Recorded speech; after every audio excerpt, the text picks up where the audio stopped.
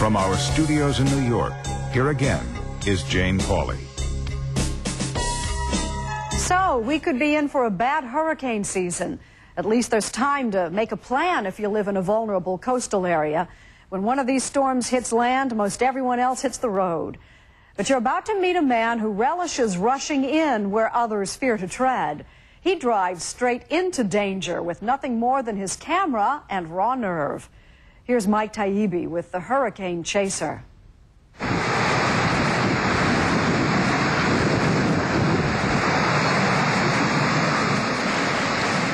Raging winds, torrential rains, pounding surf, and a tidal surge that seems unstoppable.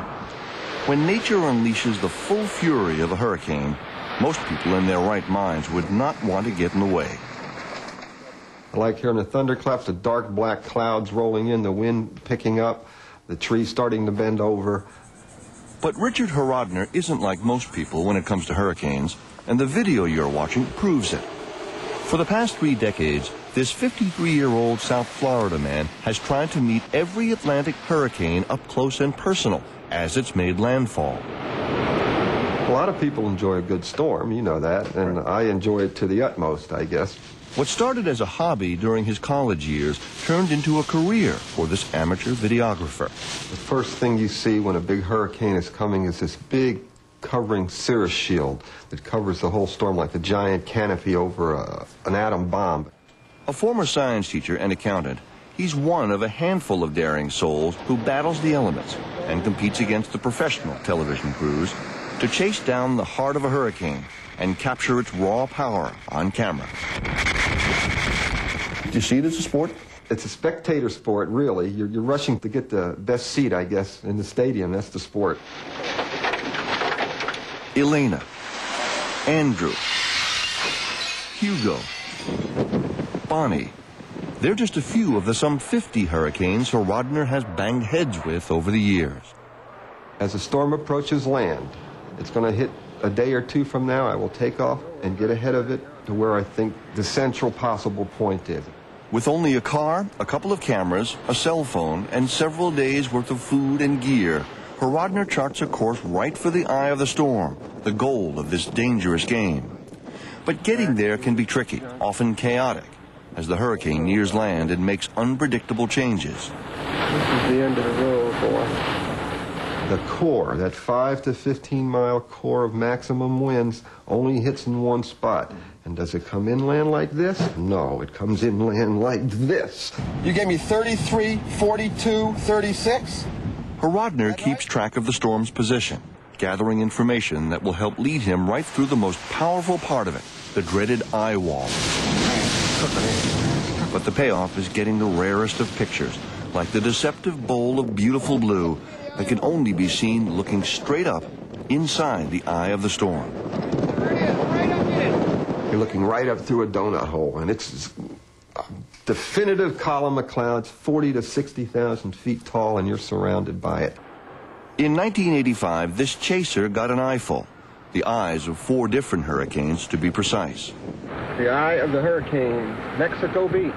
I could claim that's a world's record if there's such a thing for one person on the ground to see four eyes. Horodner sells his unique video and sometimes gives it away. He says civil defense departments, schools, even the National Hurricane Center all use it for training and education. If you can show them what's going to happen and you show a tidal surge sweeping over people's homes and demolishing them, people will be more likely to say, well, I better not stay here to protect my house. Mm -hmm. I'll come back when it's over. Yet Richard Horodner is out there in the worst of it, by choice. So far, he's been lucky. He has minimized his risks for the most part. Still, inevitably, he has had his share of close calls. Now, in the ocean. Hurricane Elena, 1985. This was probably the most grueling hurricane chase I ever had, and maybe the most successful as far as a photographic venture. The quest took him on a treacherous drive over a crumbling causeway on a sea-battered edge of the Florida Panhandle.